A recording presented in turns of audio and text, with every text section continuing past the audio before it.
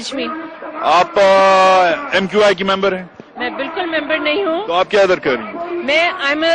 representative of Islamabad and I been watching not only me all my friend my family all the people who love Pakistan we have been waiting for long for one messiah to come and just foot things right and doctor at home I really want see and feel how a revolution really takes place how what is it to be part of a revolution.